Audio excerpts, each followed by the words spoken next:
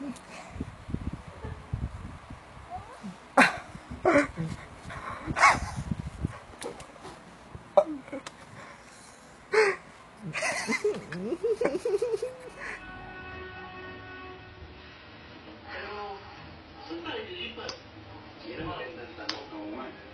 mo, buti, nasindak ni Queenie ko kanina yung ano, representative Mr. Ponce.